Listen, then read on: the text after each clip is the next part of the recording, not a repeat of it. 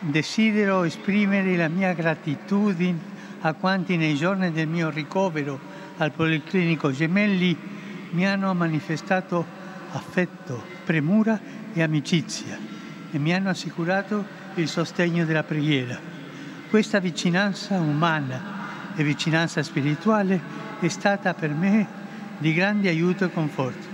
Grazie a tutti, grazie a voi, grazie di cuore.